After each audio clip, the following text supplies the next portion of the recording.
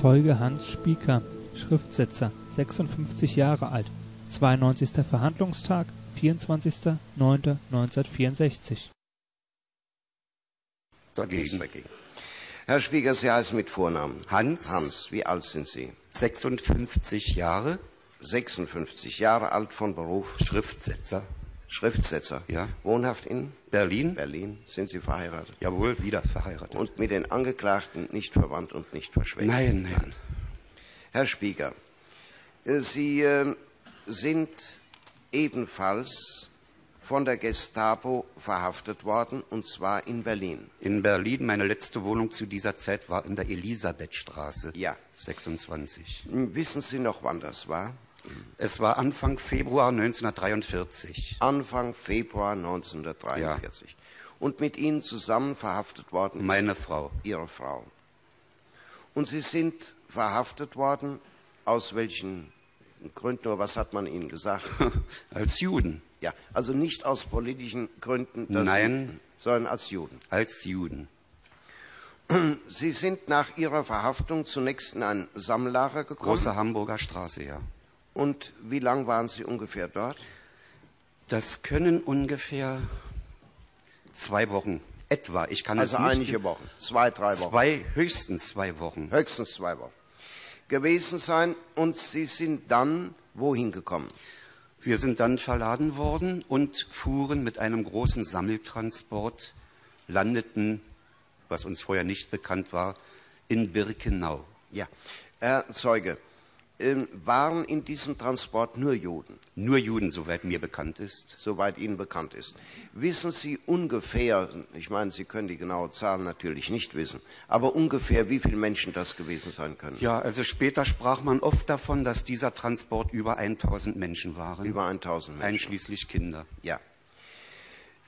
Als Sie in Birkenau ankamen, wo sind Sie da ausgeladen worden?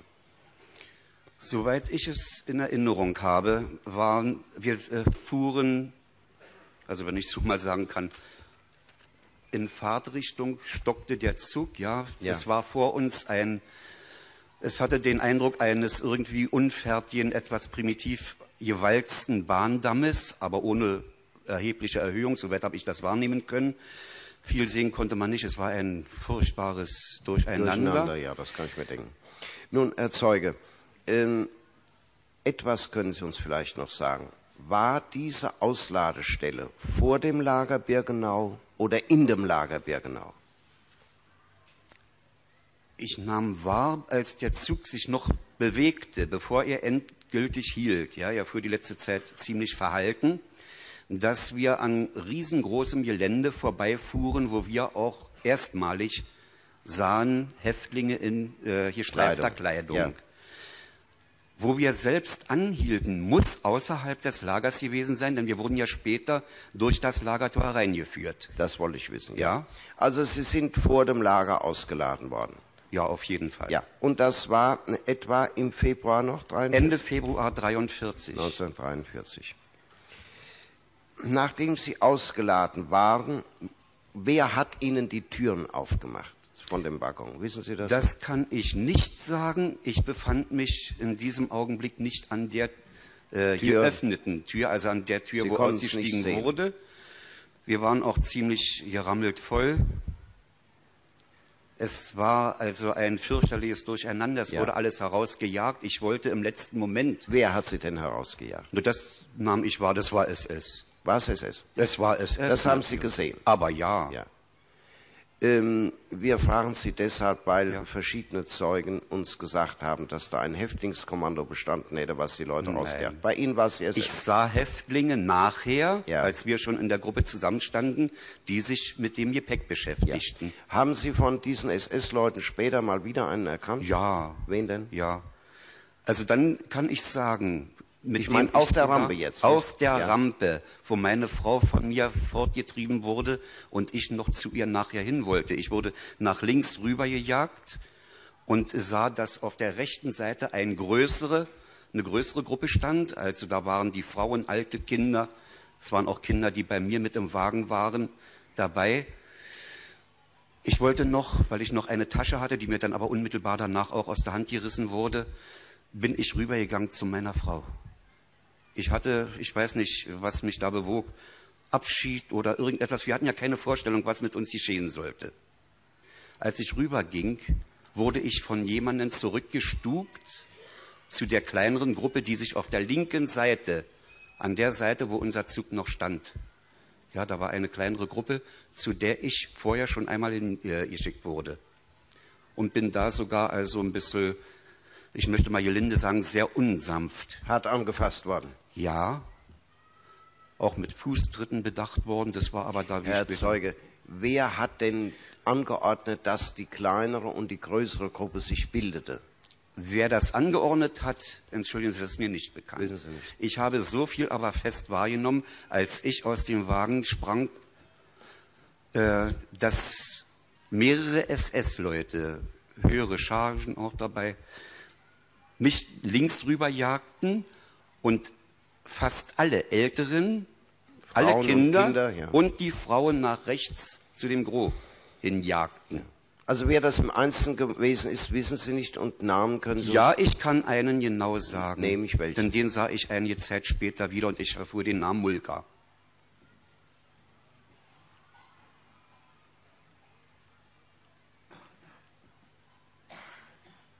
Würden Sie uns einmal die Person dieses äh, Angeklagten näher schildern? Ja, es war eine Situation, Herr Vorsitzender, in der ich mich da befand, dass man sich einige besonders markante, unangenehm markante Gesichter merkt. Ich weiß nicht, ob ich jetzt nach dieser Zeit in der Lage bin, aber ich glaube, das war ein unver unvergesslicher Anblick für mich. Ja, und wie sah der Mann aus? War er klein, war er dick, war nein, er groß, nein, war er er war weder klein noch dick.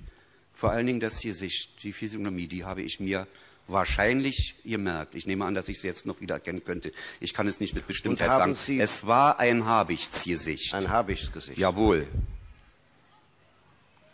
Und äh, wissen Sie, ob er in der Uniform eines äh, höheren Offiziers war oder ob er in der Uniform eines Mannschaftsdienstes gab? Den Rang, also das bedauere ich, das kann ich ja. nicht sagen. Nun, aber Sie konnten doch vielleicht unterscheiden, ob es überhaupt ein Ein Offizier war, war es, ja, ja, ein Offizier ja. war es, auf jeden Fall. Ja, ja. Und was hatte der nun für eine, was spielte der da für eine Rolle? Was hat er da gemacht, dieser Mann, den Sie als Mulka äh, später bezeichnet bekommen haben? Er war daran beteiligt, die Einteilung vorzunehmen. Also links rüber, das heißt links zu der kleinen Gruppe, zu der ich gehörte, rechts mit an dem Gros, wo die Kinder, Frauen und Älteren waren. War das auch derselbe, der Sie zurückgeholt hat, als ja, Sie Ihre Frau... genau der gleiche auch. Also ich machte ein paar wollten. Schritte rüber und wurde zurückgezerrt und dort rüber gestupt. Mhm. Ja. Sie äh, kannten damals auch noch die Frau Naftali. Ja, das war eine Frau mit einem Jungen, etwa acht bis höchstens zehn Jahre. Ja. Es waren auch noch mehr Namen, die ich mir da gemerkt habe. Das waren alles Berliner. Herbert Bad mit Frau und Kind. Ja. Tischauer, Max mit Frau. Mein Schwager, Siegfried war mit bei. Siegfried Samuel, auch nicht wiedergekommen. Auch nicht wieder. War der auch zu dieser Gruppe? Der war mit meiner Gruppe mit Ihrer Gruppe? Mit meiner Gruppe links ebenfalls Tischauer und Bad. Herbert Bad, Max Tischauer. Ich weiß nicht, vielleicht finden sich Listen an, das ist durchaus denkbar. Das wird meine Aussage wahrscheinlich irgendwie bekräftigen oder bestätigen. Ja. Ähm, Sie äh, sind dann mit Ihrer Gruppe wohin gegangen? Wir mussten uns formieren, es wurde mehrmals gezählt, Mank geprügelt, ja, wie das da so landesüblich war. Wir mussten dann den Weg links, also aus der Fahrt, wie soll ich das beschreiben? Wir kamen von der linken Seite so rein, der Zug ja. blieb stehen, das Gros sammelte sich drüben rechts, wir mussten dann später links rausmarschieren. Ich sah dann noch, als die, der größte Teil der Gruppe, die rechts stand, auf äh, zum Teil, nicht alle weiß ich nicht, LKWs geladen wurden. Während dieser Zeit mussten wir links heraus und machten eine Rechtsschwenkung und gingen dann nach also mehreren Schritten, das war aber nicht sehr weit, durch ein Tor. Durch ein Tor. Durch ein Tor und damit waren wir in einem Lager, Das äh, machte noch einen unfertigen Eindruck. Ich hörte später, kann es aber nicht genau sagen, ob es wirklich das Zigeunerlager war. Aber es waren unmittelbar nach uns ja auch die ersten Zigeunertransporte angekommen. Ja. In meiner Gegenwart wurde die erste Z001-Nummer tätowiert. Auch Holländer kamen kurz nach uns. Es war alles zur gleichen Zeit. Als Sie in das Lager kamen, wissen Sie noch, in welchen Teil des Lagers Sie aufgenommen worden sind? Das habe ich mehrmals versucht, mir noch äh, zu rekapitulieren, aber es ist mir nicht möglich. Ich weiß, dass wir rechts rüber gingen. Es war noch alles, zum Teil wurde an der Lagerstraße, die wir reingingen, noch gebuddelt. Es wurde Graben ausgehoben. Es war ein furchtbar äh, nasslehmiger Boden. Die, die Schuhe zog einen aus. Das äh, ging dort sehr grausam zu. Es waren zum Teil noch Blocks, die unfertig waren. Auch das, äh, der Lagerteil, in dem ich selbst in Quarantäne lag, war noch unfertig. Hinter uns, das war, habe ich ewig in Erinnerung, war ein äh, einfacher Drahtzaun, also kein elektrisch geladener. Und da sammelten sich dann auch die ersten Zigeunerfamilien, die noch in der ersten Zeit äh, auf freiem Felde dort hausten. Wie lange, das kann ich leider nicht sagen. Wir wurden dann in unseren Blocks, die ebenfalls noch unfertig waren, wir hatten äh, also weder Stroh noch Holzwolle, Decken, nichts, nichts. Wir wurden dann abends immer regelmäßig bis zum Morgenrauen von zusätzlichen Wachposten bewacht, die diese Böcke aufstellten mit den leichten äh, Maschinengewehren, nehme ich an, ich bin da nicht waffenkundig. So dass also ich daraus schließen konnte, dass äh, dieses Lager wegen dieser besonderen äh, Sicherung ja, noch äh, nicht ganz abgeschlossen war. Ja, könnten Sie uns vielleicht an dieser Karte zeigen, wo Sie dahin gekommen sind? Ich will es versuchen, ja, ja aber bitte seien Sie nicht ja. böse, wenn, nicht, äh, wenn es nicht gelingt.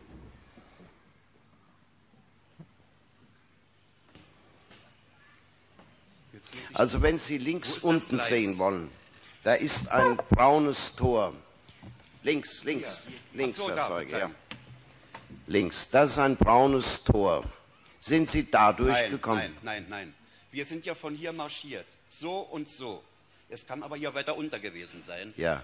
Wir mussten hier ungefähr gelandet sein. Ja.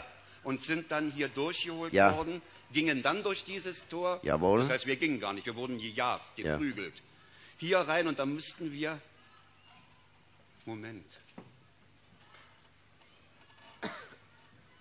Ja, das irritiert mich jetzt. Das, das irritiert, Sie. Nicht. Also das ist die spätere Ankunftsrampe das Gelbe, was Sie da sehen. Da ist später ein Bahngleis verlegt worden und da wurden später die Transporte ausgeladen. Und oben ganz am Ende dieser braunen Linie, da sehen Sie zwei rotbraune äh, ja. Gebäude, das sollen die Krematorien gewesen sein. Na, das waren sie auch. Ja. Ich selbst bin zwar dort oben nie hingekommen, denn wir waren ja auch während der Quarantäne äh, in unserer Freiheit kann ich nicht sagen, in unserer Beweglichkeit eingeengt. Ja. Sehr sogar. Können Sie uns sagen ungefähr, wo dieses Quarantänelager war? Ja, es kann hier drüber, also die Seite ist es gewesen. War es nicht vielleicht links? Die Seite war es. Wissen Sie es nicht mehr. In der Nähe waren auch, das habe ich, fällt mir eben ein, irgendwie auch noch im Neubau äh, Küchen. Da waren zwei große äh, oder wenigstens ein großer Küchenblock. Ja. Massiv gebaut. Ja. Hier waren ja Holzbaracken. Ja. Die Pferdestelle mit den durchgehenden Kaminen. Ganz recht, ja. ja? Mhm.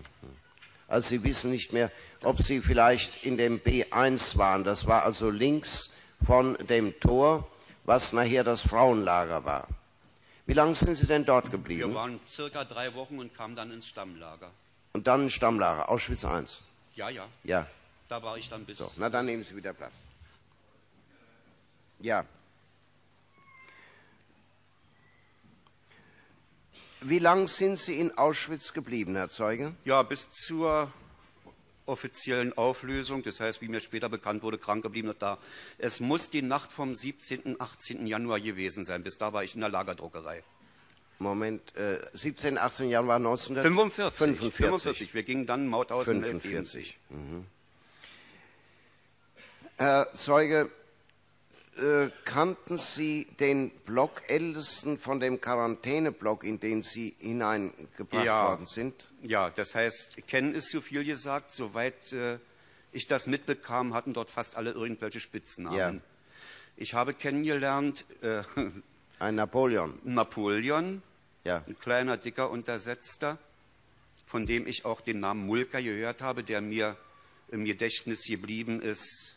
Sagen Sie bitte, das war der Blockälteste. Das war ein Blockältester, der Nebenblockälteste wurde genannt Schwabbel. Und welches, welchen Winkel hatte denn dieser Blockälteste? Wissen Also das Sie muss ein noch? BVer gewesen sein. Muss ein BVer Muss ein gewesen BVer sein. gewesen sein. Der Schreiber, kann ich mich erinnern, war ein Wiener, also ein österreichischer, jüdischer Häftling mit dem äh, SV-Winkel drin. Es gab ja auch äh, Gelb und Grün ge Ja. gespitzte, ja. Das war den Namen, weiß ich leider nicht mehr. Es war ein älterer äh, Blockschreiber. Wir sind auch einmal dann verlegt worden in den Nebenblock, da ging es ja noch sehr durcheinander. Ja. Nun, also Sie können jedenfalls diesen Mann nicht mehr uns näher identifizieren. Wie der Napoleon, wer das Napoleon ist bekannt Ja. gewesen in diesem Lager. Ja. Nun, dann sind Sie nach wie langer Zeit sind Sie nach Auschwitz gekommen? Nach Auschwitz I? Es, äh, ich glaube, die Quarantänezeit war etwa drei Wochen, nicht Etwa länger. drei Wochen. Nicht länger. Inzwischen sammelten sich sehr viel andere Transporte noch und wir wurden dann auf dem, also auf dem Appellplatz, wurden dann, nachdem die Stammhäftlinge, die schon bereits da waren, in die einzelnen Berufe aufgerufen. Ja. Dadurch kam ich als Schriftsetzer in die Lagerdruckerei. Und zwar in Auschwitz I, Im Stammlager, im ja, ja. Stammlager. Wir hatten draußen die Druckerei, später sind wir dann noch verzogen. Also erst war unsere Druckerei in der SS-Unterkunftskammer neben dem Casino. Auch da war eine Rampe, wo allerdings nur die Güterwagen, Papier, Materialien und so weiter verladen wurden. Hm. Rechts von uns war TWL. Auf der Schräg Was über- heißt TBL? das war wohl Truppenwirtschaftslager, sowas ähnliches. Ich Mhm. weiß, da durften wir nicht äh, irgendwie viel hin, da war wohl allerhand Material. Aber ich habe auch noch sehr deutlich in Erinnerung, dass etwas weiter hinter gelegen, ich will mal sagen, so die Luftlinie vom äh, SS-Casino, wo die SS-Leute essen gingen. Das war ja gleich neben unserer, das war das ehemalige Tabakmonopol, dieser alte Bau, ja, in dem wir untergebracht waren. Wir gehörten als Druckerei anfänglich noch zur SS-Unterkunftskammer. Später waren wir selbstständiges Kommando, bekamen neue Gebäude. Links von uns, etwas weiter hinterliegend, war der alte Theaterbau. Und da wurde ich, das war in den ersten Tagen, als ich allerdings als Schriftsetzer im Kommando war, wurde ich einmal ganz schnell mit hinzugezogen zum Ausladen vom Wagen. Das kam vor. Und da stand ein Sanitätswagen, sogenannter Sanker vom, äh, vom Theaterbau. Und ich wurde mit dazu getrieben zum Abladen und habe selbst Zyklon B mit abladen müssen. Von wo nach wo? Aus diesem Sanker in den Theaterbau. Aus dem Und Sanker das schwöre den ich mit tausend Eiden. Ähm, nun wollen Sie uns vielleicht mal auf der anderen Karte zunächst sagen, Ja. wo dieser Theaterbau war. Ganz gern.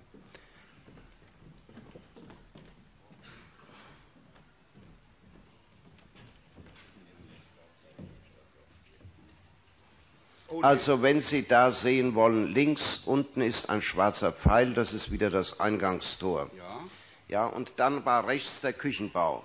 ja. Wir gingen äh, so auf Kommando. Das war ja nicht innerhalb des Lagers. Ja. Wir gingen ja raus. Ach, Sie gingen raus. Wir Wo gingen waren Sie raus. denn untergebracht, in welchem Block? Block 23. Würden Sie mal zeigen? Ja, Moment. Das irritiert jetzt hier, weil es jetzt anders. Hier.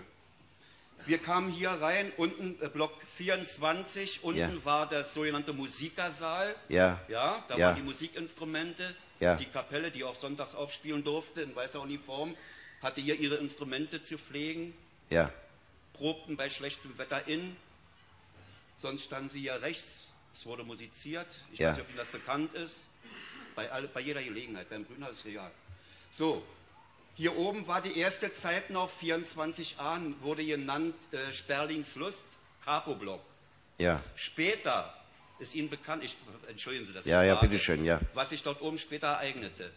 Die Kapus wurden rausgelegt und man hatte, um irgendwie äh, einigen besonders, äh, na, also verbunden mit verschiedenen Annehmlichkeiten, zum Teil auch für sich selbst ein Bordell gebaut. Aha. Hier oben. Ja. Das ist uns bereits Ich lag gesagt. hier unten, ist bekannt, ja? Ja. Ich Nun- lag hier unten 23. Mein Blockältester war Roman, ein äh, Pole. Roman. Roman mit, Mit R. Vornamen. Roman. Ja. Ein junger, großer Kerl, ein fabelhafter Mensch. Wir haben uns sehr gut verstanden. Der Nebenblock, ja, das war äh, 22, das ist eigentlich nicht wichtig. Wir wurden später hier rausgezogen, das war dann aber ungefähr schon letzte halbe Jahr, etwa Herbst 44, wurden auf 16 verlegt, Wo ist 16? hier drüben, Ja. 16. Unten war der, also hier will ich erst sagen, aus welchem Grunde unsere beiden Blocks geräumt wurden, weil Frauen dort mit zukamen. Ich glaube, als Schuhkommando und andere. Um den den weiten Weg immer nach Birkenau abzunehmen, wurde bei uns geräumt. Es kam hier ein extra Zaun herum. Wir wurden nach 16 verlegt. Mein Block ältester 16. Später war Hans Knocke Eike. Kardok wird ihn gut in Erinnerung haben. Ja, dann nehmen Sie doch mal bitte wieder hier Platz. Ja, das Theatergebäude wollten Sie noch zeigen. Ja. Da muss ich jetzt aber wieder versuchen.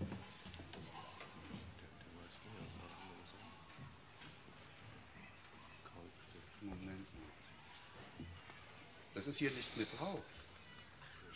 Also wenn Sie... Das ist nicht mit drauf. Nein, es ist nicht drauf, da haben Sie recht. Aber ungefähr in welcher Gegend es gestanden haben muss. Na, es war also. Würden Sie uns mal zeigen, hier auf der- SS-Casino. Ja, zeigen Sie uns doch mal bitte. Also ähm, links oben das kleine Weiße, ganz links oben, das ist das, die Villa von dem, von dem Lagerkommandanten Höss gewesen. Die habe ich vom Block aus gesehen. Ja. Hier wurde ja auch mitunter musiziert und so weiter, ja. Hier ging ja sonntags die Kapelle vorbei in der weißen, prächtigen Uniform Ja, und spielten dann für die anderen auf. ja. Und wo, in welcher Gegend ungefähr macht das Theatergebäude Nein, das gewesen? muss, also ich weiß, will mich nicht verbürgen, das muss ungefähr hier in dieser Richtung gewesen in dieser sein. Richtung. War es nicht etwas weiter seitlich noch? Naja, also wir gingen hier ein ganzes Stück erstmal, mussten dann hier rüber, Moment mal. Das Gleis schnitt hier unsere Gebäude, denn wir mussten ja da auch die Papierballen ausladen. Ja. Das kann also hier ungefähr Hier in dieser Richtung Gegend. gewesen Ja. sein. Und das war das Theatergebäude, das war Ihrer Druckerei gegenüber?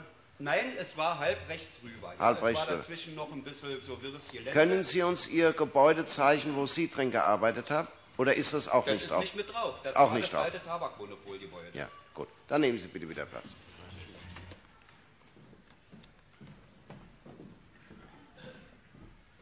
Also Sie wurden herausgerufen, haben Sie gesagt, zum Abladen Ja, und haben und- aus dem Sanga heraus Büchsen mit Zyklon. Was stand denn da drauf auf diesen Büchsen? Ich habe zuerst gar keine Ahnung gehabt, was das war. Das waren einige in Karton gepackt, also in Karton. Ja. Ja. Wir wurden getrieben, weil der Fahrer es wohl eilig hatte oder ich weiß nicht, welch, was der Anlass war, warum wir uns, es musste ja alles in Eile gemacht werden. Und der Vorarbeiter Schlesinger, er ist dort in der Gegend zu Hause gewesen, ein Vater mit zwei Söhnen, ich weiß nicht, was aus denen geworden ist. Der war, also dem unterstand ich jetzt zur Zeit dieses Abladens. An sich gehörte ich ja gar nicht dazu. Ja. Und der rief mir dann noch zu, mach bloß schnell das Zeug, was du da in der Hand hast. Das ist das, woran deine Frau und alle kaputt gegangen sind. Und ich sah dann aber auch noch offene Kartons mit runden Büchsen, wobei ich beim besten Willen, ich habe überlegt, nicht mehr sagen kann, ob es äh, Metall oder anderes Material war.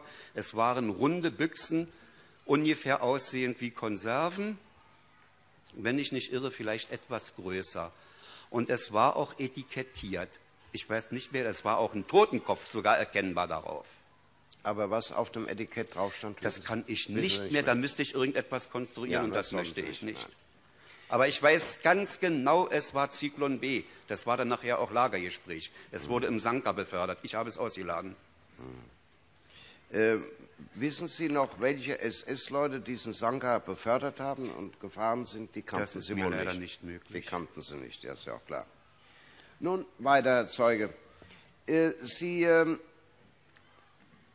äh, haben uns vorhin erzählt von diesem Mann, der auf der Rampe Dienst getan hat und den Sie als den Adjutanten Mulka bezeichnet haben. Wer hat Ihnen das Dass gesagt? er Adjutant war, das war mir nicht bekannt, aber Mulka. Mulka. Mulka.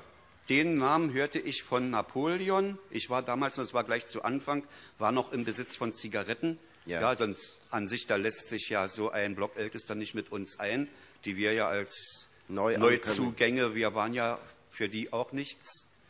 Ja, aber ich habe mir ein Herz gefasst und habe gehört im Gespräch und bin dann noch zu ihm gegangen. Er hatte noch seine Bemerkung, hat die Zigaretten und alles werdet ihr sowieso los.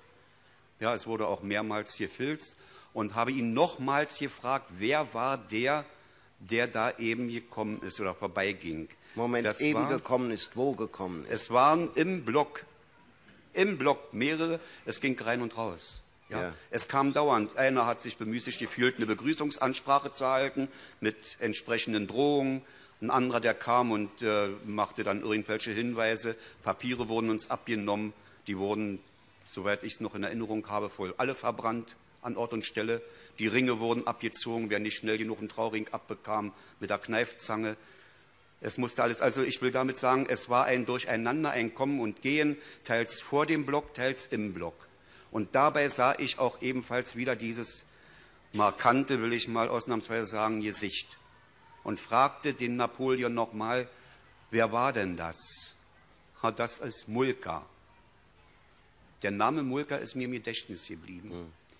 Wir haben in Berlin eine Mulakstraße, das ist nicht sehr, also ein bisschen anrüchig. Das war also in Birkenau. Das war in Birkenau.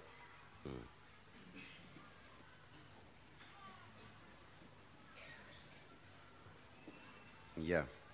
Welche äh, Nummer hatten Sie, Herr Zeuge? Ich habe 103 Ja. Herr Zeuge, mh, vielleicht können Sie sich einmal umsehen, ob Sie diesen Mann hier wiedererkennen würden. Haben Sie inzwischen Bilder gesehen von diesem Nein, das Prozess? ist mir nicht in Erinnerung. Ich habe mal im Fernsehen, bei uns, es waren aber sehr, sehr schwache Wiedergaben, also da kann ich nichts sagen. Ja. Ja. Und von der Polizei oder so, wo haben Sie nie Bilder vorgelegt? Nein, ist mir nichts vorgelegt worden. Ja. Wollten Sie noch etwas sagen, Herr Statter? Ich möchte anregen, wenn, die, wenn eine solche Gegenüberstellung gemacht werden soll, dass diejenigen Angeklagten, die heute behaupten, damals keine Brille getragen zu haben, die Brille absetzen. Wissen Sie, ob der Betreffende eine Brille getragen hat? Das kann ich nicht genau sagen. Also ich muss sagen, bei mir das Markanteste war irgendwie der Gesichtsausdruck mit einer sehr gebogenen Nase. Würden Sie mal ähm, so machen. Ich bitte die Angeklagten einmal aufzustehen. Bitte wenden Ja. Sie sich mal hin und sehen Sie sich mal an. Sie können ruhig hingehen.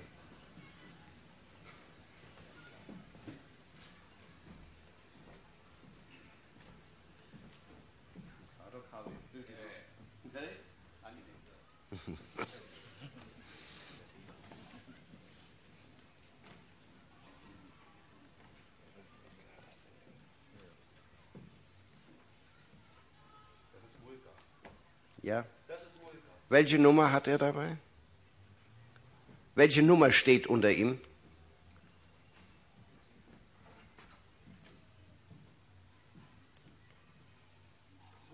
Zwei. Dann bitte nehmen Sie wieder Platz.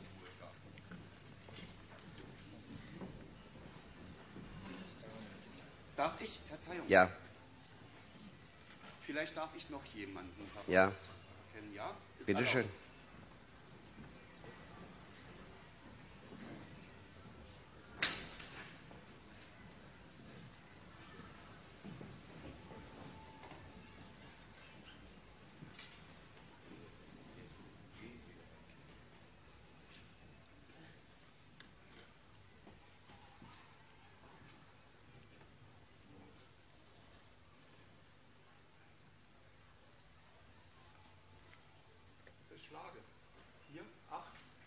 Nein. Nein? Nein.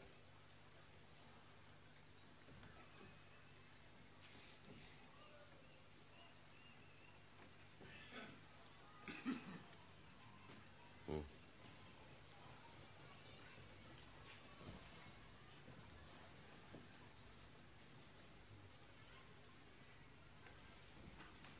Ja, Dankeschön. Herr Zeuge, Sie haben eben den Namen Schlage genannt. Wie kommen Sie auf diesen Namen? da ist etwas, das will ich Ihnen von vornherein sagen, da bin ich etwas unsicher. Ich habe, das heißt, es ist jetzt etwas weiter dann zurückliegend gewesen, das heißt also vorgegriffen vielleicht von meiner, meinem Aufenthalt im Stammlager. Ich wurde einmal gerufen über den Blogschreiber von Elf, Rolf Huth, war Blogschreiber in Elf im Bunker, wurde von dem geholt und wurde dem dortigen, äh, na wie soll ich sagen, es war ein Unterscharführer, weiß aber leider nicht wahres Schlage oder sein Ablöser. Für den habe ich unter, na ein bisschen mal sagen, gewaltigem Druck und für mich mit großem Risiko fälschen müssen. Ich habe mich dort als als Fälscher betätigen müssen. Und was sollten Sie verdienen? Ja, ich habe für ihn Marketender-Marken drucken müssen. Marketender? Marketender-Marken und zwar elf bis, nee, 14 bis 17 Stück. Mit diesen Marken war er in der Lage, sich äh, zusätzlich Schnaps, Zigaretten, Schokolade und so weiter zu holen. Das bekamen die SS-Leute. Die sogenannten Bons. Ja, ja, es waren so immer eine Karte mit ringsum Abschnitten und der war nun, das hat ja da auch jeder versucht, wo er blieb.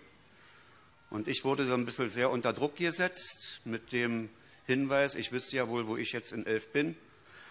Und es würde doch ganz gut sein, sich mit diesen Leuten gut zu stehen. Und ich habe, nachdem ich mit Kameraden darüber gesprochen habe, das heißt, abgesprochen, jawohl, ich mache das. Denn ich konnte mit dem, was ich dafür bekam, jawohl, ich habe auch dafür was bekommen. Ja, aber nicht den angebotenen Schnaps, Darauf legte ich keinen Wert, der dort als Valuta wohl galt, aber nicht bei mir, habe ich mehrmals mir geholt zusätzlich Margarine, Brot, Wurst, Zigaretten, die zum Teil über andere Leute, mit denen ich ein sehr gute, ein gutes Einvernehmen hatte, die die Möglichkeit hatten, in den Frauenblock 10 zu gelangen, habe ich dort Lebensmittel und Zigaretten reinbringen lassen. Das ist die eine Sache aus der Tätigkeit meiner Druckerei. Aber ich habe dort auch eine Arbeit verrichtet, die ich sehr, sehr gerne gemacht habe. Sehr gern. Das war im Sommer 44.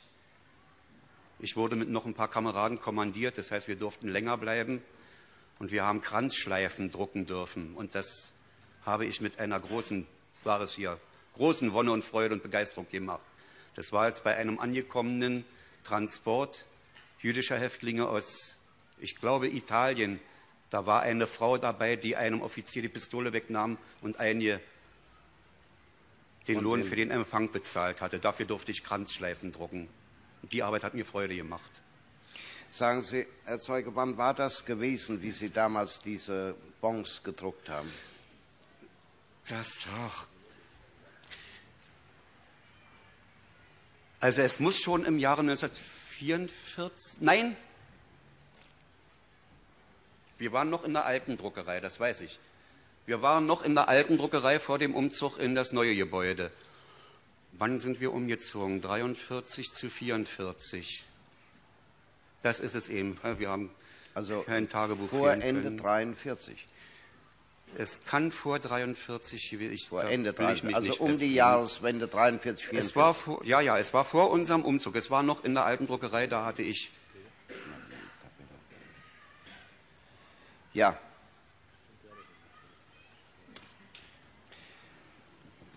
Herr Zeuge, wenn ich Ihnen jetzt hier zwei Bilder zeige, dann ist das äh, natürlich sehr gefährlich, aber ich möchte es trotzdem tun. Und äh, Sie bitten mir zu sagen, ob Sie den Mann kennen, der darauf abgebildet ist.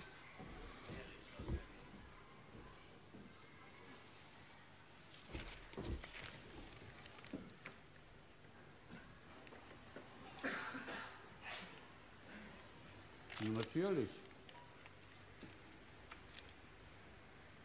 Das ist Mulker. Hm. Haben Sie ihn so in Erinnerung? So in Erinnerung. Wenn ich nicht irre, hatte er einen Mantel an. Naja, das ist ja möglich, nicht? War ja Februar schließlich, als Sie ankamen.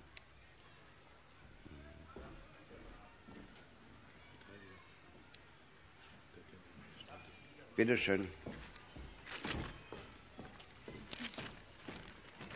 Also das können Sie beschwören, dass dieser Mann Jawohl. auf der Rampe war, Jawohl. dass dieser Mann Sie sogar noch zurückgeschoben hat, als Zu Sie zu Ihrer Frau Gruppe. kommen wollten oder zurückgeprügelt hat Ja, und dass dieser Mann auch verantwortlich war dafür, wer zu dieser Gruppe und wer zu der anderen Gruppe geht. halt, das, Herr Vorsitzender, das kann ich nicht sagen, ob er die Verantwortung trug. Ja. Das, da habe ich keine Übersicht. Aber der eingeteilt hat? Aber er war aktiv daran beteiligt. Ja.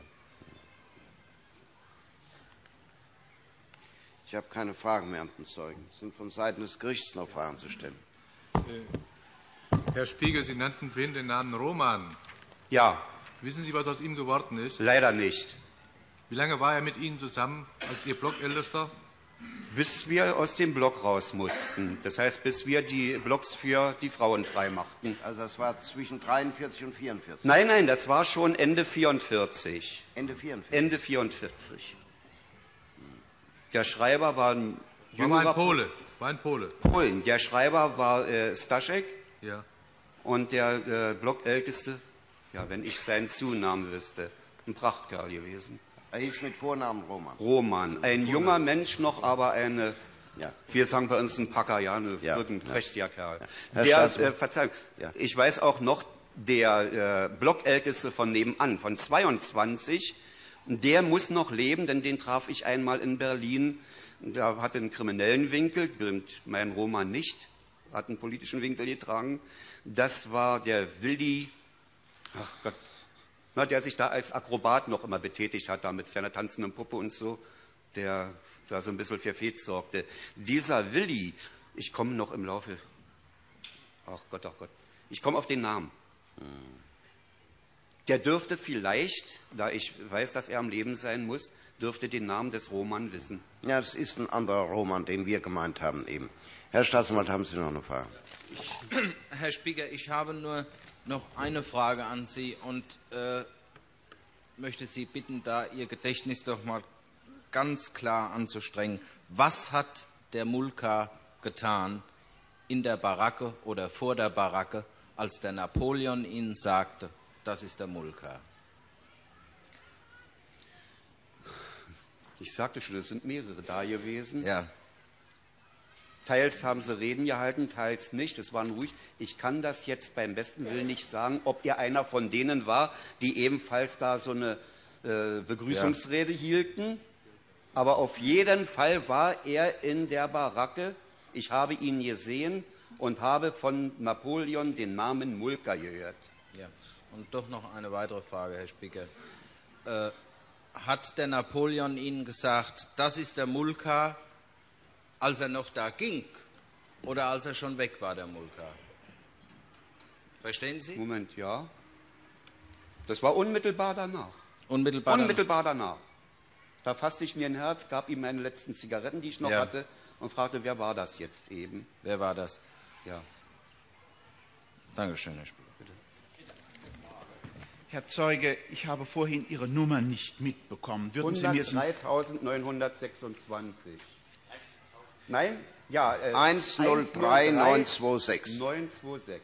äh, diese Nummer müsste bei dem Transport, der am 20. Februar eingelaufen ist, ausgegeben worden sein. Ich sagte Ende Februar, den Tag wusste ich leider nicht. Ja. Wissen Sie ungefähr aus eigener Anschauung, aus Berichten von Kameraden, wie viele Männer und wie viele Frauen damals zum Leben ausgesucht wurden und ins Lager kamen? Ja, es hieß etwa 120 Männer. Würden Sie ins Mikrofon bitte Ach, sprechen? Verzeihung. Ja, bitte schön. Ja, 120 Männer, so wurde immer nachher gesagt. Verbürgen kann ich mich dafür nicht, aber mehr waren wir bestimmt nicht. Von Frauen weiß ich nichts. Ich sah nachher nur außer der großen Gruppe unsere Kleine. Von den 120, die wir zuerst waren, sind meines Wissens nach nur noch drei übrig. Und der gesamte Transport hatte schätzungsweise, wie Sie vorhin Über sagten, 1000. Über 1000. Über 1000. Danke, ich habe keine Frage. Herr Dr. Stolling II. Herr Spieker, Sie sagten vorhin, als Sie mit den, in den Waggons ankamen, wurden Sie aus den Waggons von SS herausgetrieben. Äh, War bei diesem Heraustreiben, waren da auch Offiziere beteiligt? Herausgetrieben habe ich nicht gesagt. Wir wurden heraus, also naja. Wir wurden veranlasst, schnellstens die Waggons zu räumen.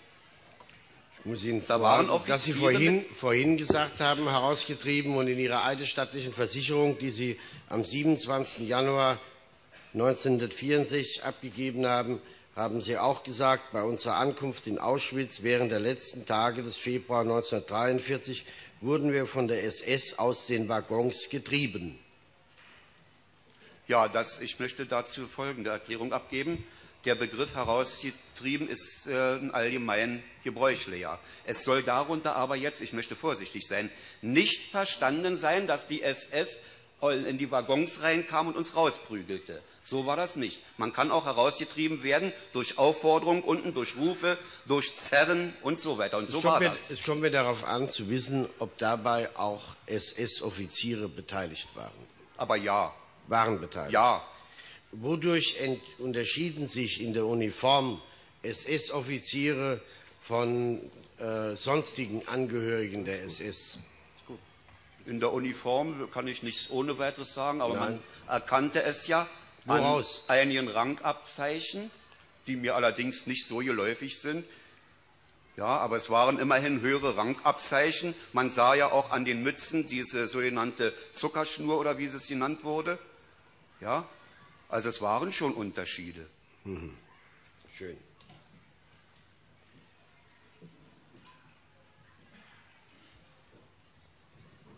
Ich möchte noch mal auf den Vorgang zurückkommen, als Sie in dem Quarantäneblock den Angeklagten Mulka, Ihnen der Name des Angeklagten Mulka von dem Napoleon gesagt worden ist.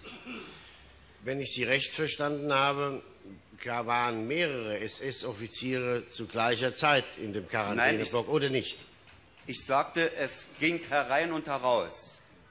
Jeder wollte irgendwie versuchen, entweder uns mit einer Predigt die Himmelfahrt zu erleichtern, durch ermunternde Hinweise. Andere waren bestrebt, uns darauf hinzuweisen, wir sollen uns ja kein Gold in den Hintern reinstecken, sie würden es doch finden und all solche Dinge. Ich habe nicht gesagt, sie kamen alle zu gleicher Zeit. Ich nehme beinahe an, dass einer vom anderen nichts wusste. Waren das alles SS-Offiziere? Andere habe ich nicht gesehen. Andere haben Sie nicht gesehen. Ähm, Mir fällt, Verzeihung, mir fällt auch ein, dass einmal ein Offizier reinkam, der auf dem Kamin, das waren ja diese Mitteldinger, das war immer so eine äh, beliebte Tribüne für sie. Sie spazierten darauf schaffstiefelig herum, um uns damit Eindruck zu machen. Und hat einer sogar gefragt, ob einer von den Neuankömmlingen, also von uns, mit Schnapsbrennerei Bescheid weiß. Und es war tatsächlich zufällig einer da. Der wurde dann gleich mit herausgeholt. Es wurde ihm aber gesagt, du wehe, wenn dein Schnaps nicht schmeckt, dann bist du erledigt. Wissen Sie heute noch, was der Angeklagte Mulka gemacht hat, als äh, Sie nachher den Napoleon gefragt haben, äh, wer das sei, wie der Name des Betreffenden sei? widerspreche, die Frage ist beantwortet. Ich halte die Frage aufrecht. Ja, also die Frage ist schon einmal gestellt worden von dem Herrn Staatsanwalt Küchler.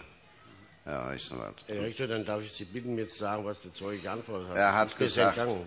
Bitte? Dann ist mir es entgangen. Also, Ja, es ist Ihnen entgangen. Ja, Sie ja. können es noch mal beantworten, ja? Ja, er entfernte sich. Ja, er entfernte sich. Das heißt also, er weiß nichts mehr Konkretes. Sie wissen also nicht, welche dienstliche Obliegenheit er ausgeführt hat. Das wissen Sie nicht. Nein, das wusste er nicht. So.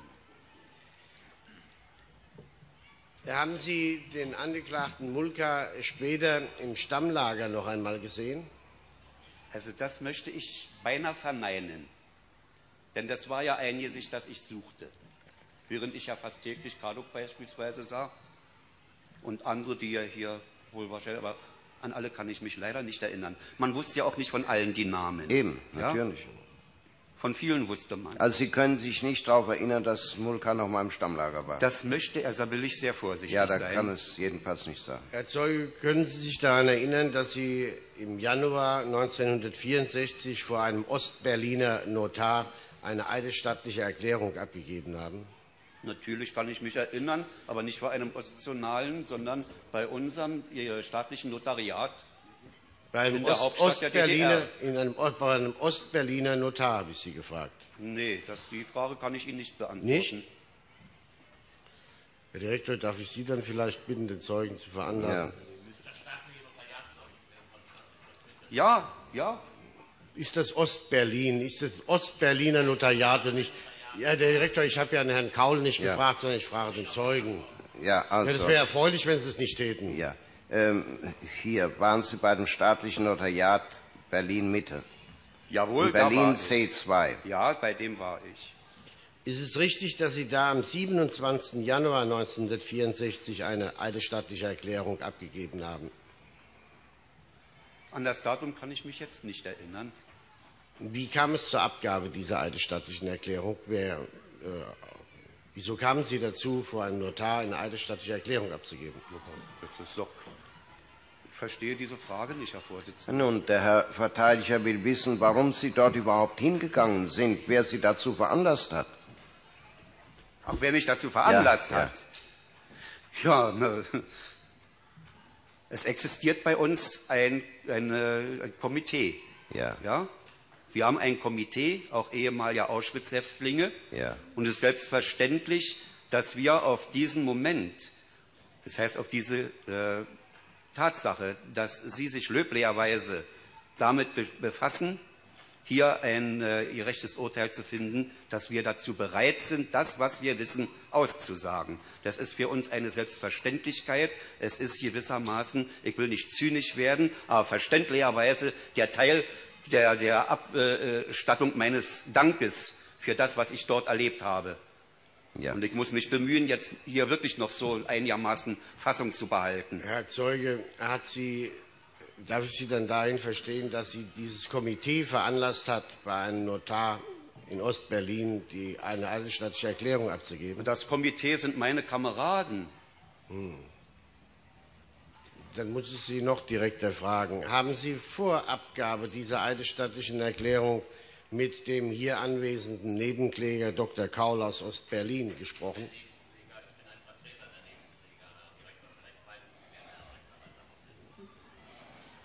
Also, Herr Zeuge, Sie wurden gefragt, ob Sie mit dem Herrn Vertreter der Nebenklage, Rechtsanwalt Dr. Kaul, vor Abgabe Ihrer notariellen Erklärung gesprochen haben. Das kann ich so nicht sagen, dass wir vorher gesprochen haben, aber es war mir bekannt, dass äh, als Vertreter der Nebenkläger Herr Professor Dr. Kaul unsere Interessen wahrnehmen wird. Und als ich zu ihm, die Frage überziehe ich jetzt, ja, als äh, ich mich ins Büro von Herrn Professor Dr. Kaul in der äh, Wilhelm-Pieck-Straße begab, musste ich hören, dass er gerade den Tag wohl irgendwie woanders beschäftigt war, wie das bei Anwälten ist. Und es wurde dann empfohlen, dass wir auch diese Aussagen bei einem äh, staatlichen Notariat machen können. Und das habe ich getan. Ja, und äh, sind Sie dann zu Herrn Dr. Kaul noch mal gegangen nach Abgabe Ihrer eidesstattlichen Erklärung? Ja, als ich dieses später bekam ich ja doch diese na, ne, Durchschrift, die habe ich dann dorthin gebracht mit der Bitte, diese äh, also meine Interessen wahrzunehmen. Sie sagten, Herr Spieker, später bekamen Sie diese Durchschrift. Äh, war das ein paar Tage später oder am selben Tag? Das kann ich nicht mehr genau sagen. Nein, später, äh, denselben Tag war es nicht. War es nicht? Nein. Sind Sie dann am nächsten Tag bei äh, Herrn Dr. Kaul gewesen? Am Tage, als ich diese äh, na, Durchschrift hatte. Ja, dann muss ich Ihnen vorhalten, dass die Verhandlung vor dem Notar Hans-Otto Koch am 27. Januar 1964 war und dass der Nebenkläger Vertreter Dr. Kaul mit Schriftsatz vom 28. Januar 1964 bereits diese Urkunde vorgelegt hat. Wenn Sie also diese Urkunde nicht am gleichen Tag mitbekommen haben, dann, dann habe ich am nächsten Tage das hingebracht. Das wird aufgehen. Das wird aufgehen. Das wird aufgehen, das ist durchaus denkbar. Und äh, Sie schließen aus, dass Sie vor Abgabe dieser notariellen Erklärung, vor Abgabe dieser eidesstattlichen Erklärung mit dem Nebenklägervertreter Dr. Kaul gesprochen hatten. Aber ich sagte bereits, ich habe Herrn, Dr., Herrn Professor Dr. Kaul nicht persönlich angetroffen, habe dort hinterlassen, äh, welchen Zweck mein Besuch galt und bin anschließend dann zum äh, Notariat gegangen. Und es ist dort durchaus in einem ordentlich geführten Anwaltsbüro üblich, dass gesagt wird, dass sich dort ein Klient oder wie man das nennt, gemeldet hat. Also dann, haben Sie, Herrn, dann haben Sie Herrn Dr. Kaul am 28. Januar 1964 erstmals kennengelernt. Noch nicht kennenlernen. Professor Dr. Kaul ist bei uns sehr bekannt. Ja, ist er auch Mitglied dieses Komitees, von dem Sie vorhin sprachen? äh, die Frage. Oh, die sehr, die sehr wesentlich, diese Frage. Nun, also an und für sich wäre die Frage ja durchaus nicht. Äh, eben, eben. Und selbst wenn? Sondern in Lichtenburg und in Dachau, das hat mir gereicht. Eben. Ja. Ich dachte, der Zeuge würde die Frage beantworten, Herr Direktor, aber wenn es nachdem es von dem Herrn Nebenklägervertreter vorgesprochen worden ist, brauche ich keine weiteren Fragen mehr zu stellen. Ja. Noch Fragen von Seiten der Angeklagten? Nein. Werden bezüglich der Beeidigung Anträge gestellt? Keine Anträge. Ja. Äh, Dann wollen wir jetzt. Verzeihung. Bitte schön, ja. Ich hatte mir also wirklich nur hier so ein paar Stichworte. Ja. Äh, interessiert es noch, ja, also mehr zu wissen über die Durchführung von Selektionen und so weiter im Lager? Ja, die Hauptsache würde es uns interessieren, würde uns interessieren, wenn Sie uns Namen nennen können. Ja, also ich kann Ihnen sagen, dass Ja. Kadok sehr häufig dabei war. Im Lager, Im Lager. bei Selektion. Aber ja, Dann schildern Sie uns doch mal, wie die vor sich gegangen sind. äh, meistens war es dann so, dass nach dem äh, Abendappell, nach dem Zählappell, unvermittelt das Kommando kam, in die Lager abrücken, Juden bleiben draußen. Also Juden links daneben oder rechts, je nachdem, das äh, variierte häufig. Dann war allgemeine Lagersperre, Juden blieben draußen, marschierten zur Wäscherei, und zwar mal alte, später dann die neue Wäscherei wohl. Alles ausziehen, nackig, draußen die Sachen auf den Haufen werfen, durchgehen. Da waren dann meist mehrere äh, SS-Leute, war dann auch bei der, der na, dieser Klausen, auch Kadok war häufig dabei.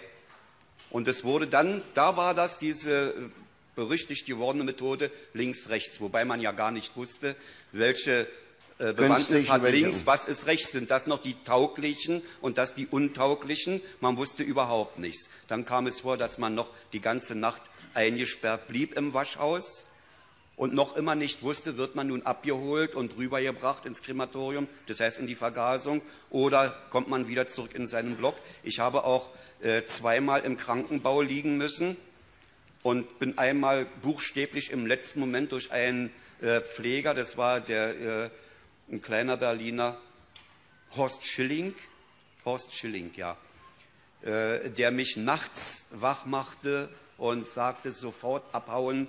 Er hat gerade was spitz bekommen, es wird selektiert und ich bin dann nachts noch heimlich mit meiner Decke durchs Lager geschlichen zu mir in den Block rein. Und tatsächlich fand gleich am nächsten, frühen nächsten Morgen in diesem Krankenbau ebenfalls Selektion statt. Ja, also solche Begebenheiten, die waren ja laufend. Ja, Herr Zeuge, mh, haben Sie auch einmal erlebt, dass Karduk eine Selektion selbstständig geleitet hat, ohne dass jemand dabei war? Ob selbstständig, das will ich nicht sagen. Das kann ich nicht sagen. Sagen. Aber dabei war er häufig. Dabei war. Hat er auch ausgesondert, wer nach Ja, links mit oder nach dabei, ja, ja. Meistens waren sie irgendwie äh, Angetrunken. sichtlich alkoholisiert, ja. Also ob er selbst die Leute nach links oder nach rechts geschickt hat? Wissen Sie das? Das, also da will ich vorsichtig sein. Aber dabei war er. Ich habe er. ich hab mir oft genug gesehen. Klausen auf jeden Fall. Der hatte gestanden Ja. und ja, ja. Ich hätte doch noch eine Frage. Herr Dr. Stolling? Ähm, Herr Spieger, Sie schilderten vorhin, als der Angeklagte Mulka Sie aus der Gruppe, in die Sie rübergelaufen waren, in der sich Ihre Gattin befand, äh, Sie zurückgestoßen hat und Sie sagten zunächst, Sie unsanft behandelt hat und haben dann hinzugefügt, Sie auch mit Fußtritten bedacht hätte. Ja, Habe ich Sie da recht verstanden? ja. Ja, ja. Ähm, Herr Spieger, ist denn sonst ist noch eine Erweiterung dieses unsanft Behandelns Ihnen in Erinnerung? Hat er sonst etwas getan außer den Fußtritten? Ja, Ich wurde zurückgeschlagen, also das heißt, äh, dort irgendjemand anders riss mir die Tasche weg, das weiß ich noch ganz genau. Ja. Die ich, äh, also ich war da wirklich ein bisschen naiv, ich weiß auch nicht.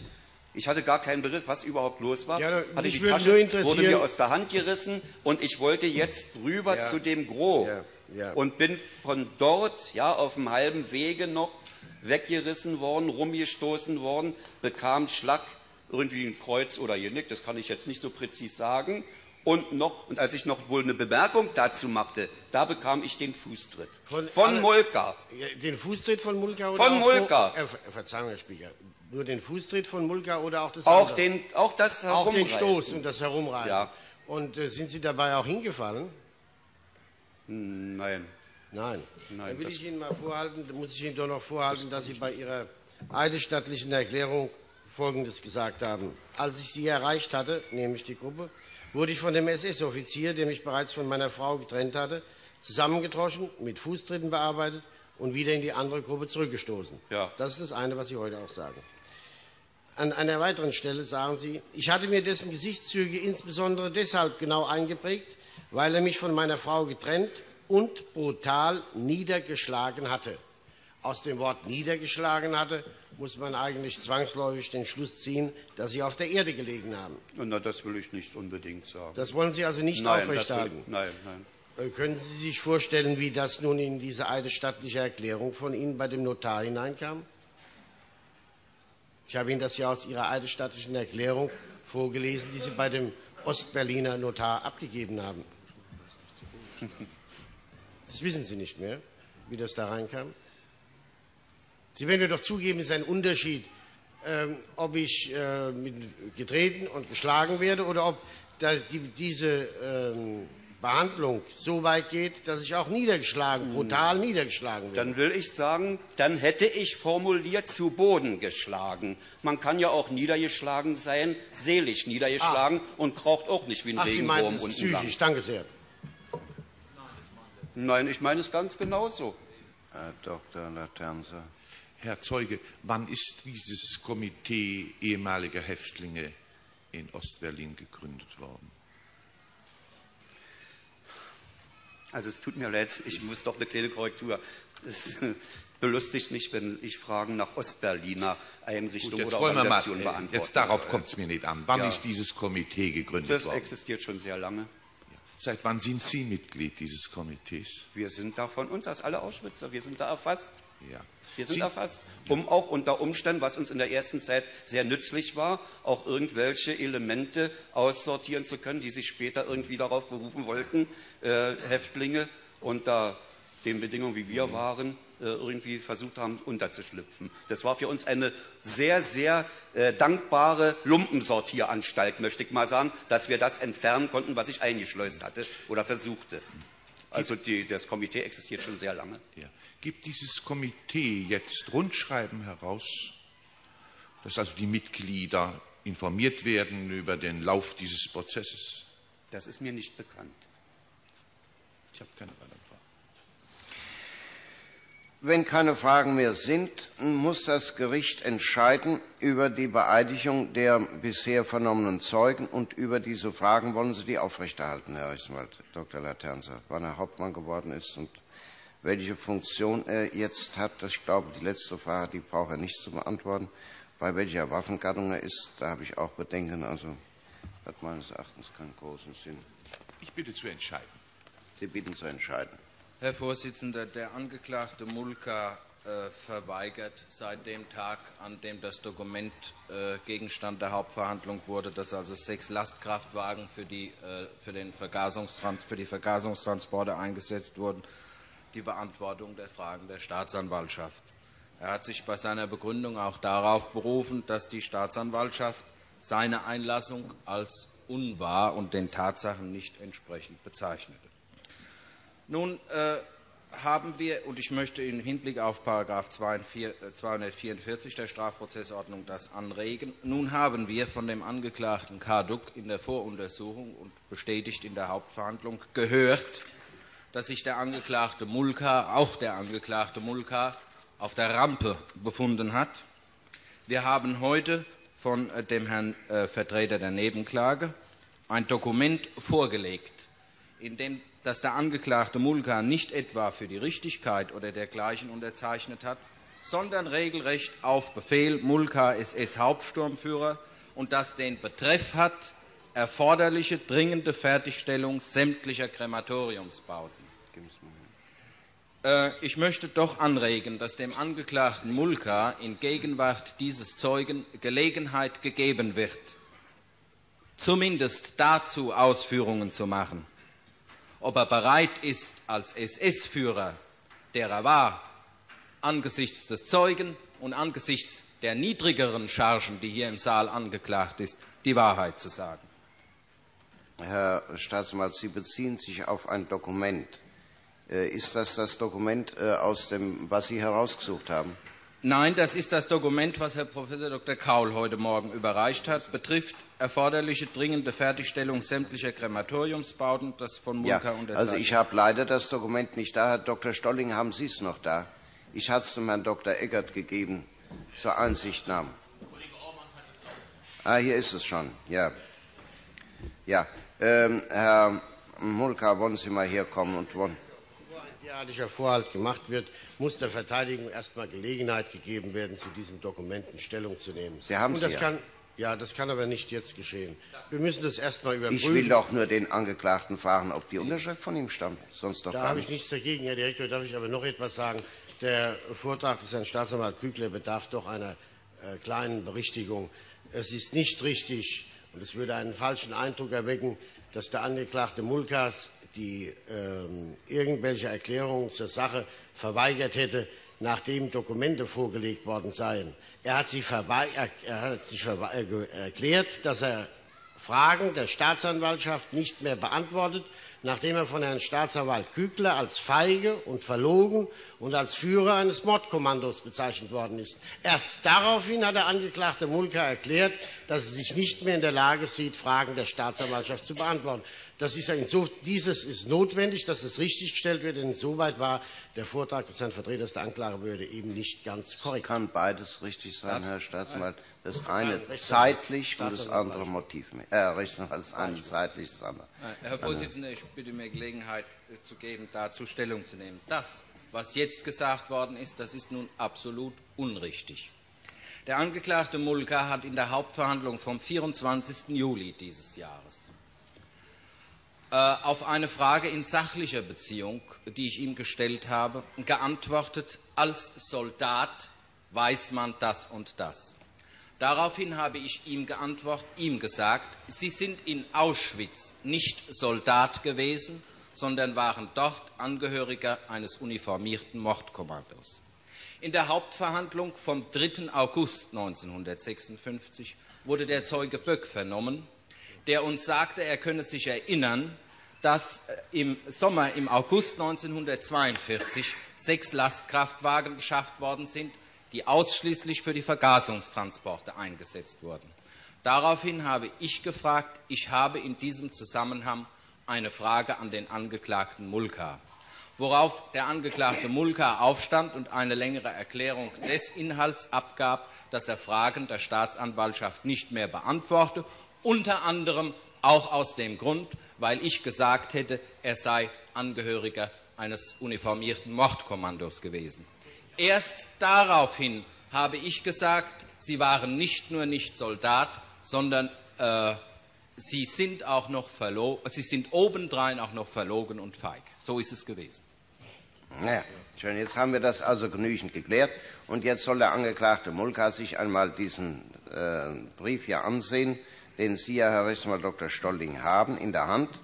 Ähm, und zwar, oder er kann sich das auch hier ansehen, eingegangen am 2. Februar 1943 und sagen, ob das sein, seine Unterschrift ist. 14 KL 1-43 MU-V betrifft erforderliche dringende Fertigstellung sämtlicher Krematoriumsbauten. Bezug ohne, Anlagen ohne an die Abteilung 3a SST Sturmbahn Zentralbauleitung der Waffen-SS in Auschwitz. Infolge der Dringlichkeit der Fertigstellung dieser Bauten hat der Lagerkommandant angeordnet, dass die an diesen Bauten eingesetzten Häftlingskommandos und Posten auch am Sonntag, den 31.01.43, genau wie werktags ausrücken, arbeiten und Dienst tun. Die Abteilungen sorgen für ordnungsmäßige Durchführung dieser Anordnung. AB Mulka SS Hauptsturmführer und Adjutant. Haben Sie das unterschrieben? Ja, ist meine Unterschrift. Ja, und haben es auch diktiert. Steht im Diktatzeichen MU, vermutlich Mulka. Offenbar ja. Ja, offenbar ja. Hm. Mehr wurde nicht gefragt. Herr Staatsanwalt, oder hatten Sie noch eine weitere? Die Frage angeregt, ob er nicht bereit ist, die Wahrheit zu sagen, dass das so gewesen ist, dass er auf der Rampe war. Ja. angesichts. Herr Vorsitzender, darf ich dazu noch mal etwas erklären? Ja, bitteschön. Alle meine Einlassungen entsprechen den Tatsachen und der Wahrheit in diesem gesamten Verfahren bisher. Ja. Darf ich darauf erwidern, dass äh, die bei der ersten Vernehmung, die, das, äh, die stattgefunden hat, der Angeklagte Mulka erklärt hat, er wisse von überhaupt keinen Handlungen wie Vergasungen und Tötungen im Lager. Dazu habe ich mich auch schon geäußert. Gut. Also, mh, wir werden jetzt entscheiden über die Fragen.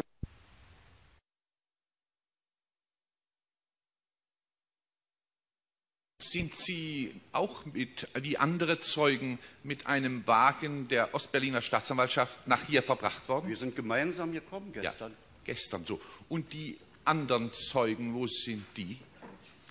Ach so, gemeinsam gekommen in was? Mit wa- was für ein Der Bahn. Mit der Bahn. Mit der Bahn, wir haben die Und als Sie das brauchen Sie nicht. Und als Sie das äh, erste Mal hierher kamen, oder sind Sie heute zum ersten Mal? Nein, wir waren vorige Woche bereits zweimal auf Wunsch des äh, Herrn Vorsitzenden oder der Justiz hier erschienen, sind aber nicht äh, zur Zeugenvernehmung worden, ja. herangekommen. Ja. Und wie sind Sie damals beim ersten Mal hierher gekommen? Ja, da bin ich auch mit einem Wagen gekommen, aber mit einem anderen. Mit einem Volga.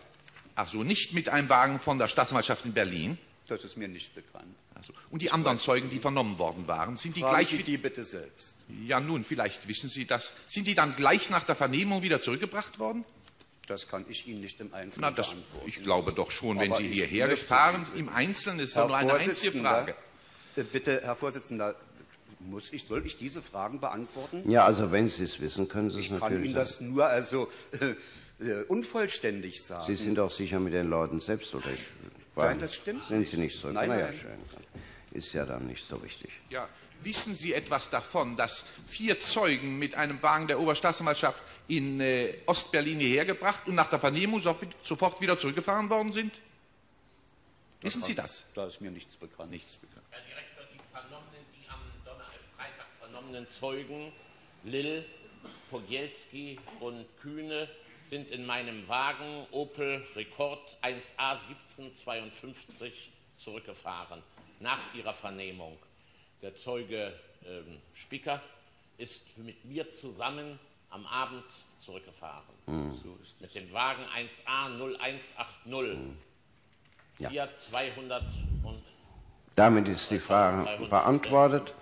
Keine Fragen sind mehr zu stellen. Die Angeklagten haben keine Fragen mehr.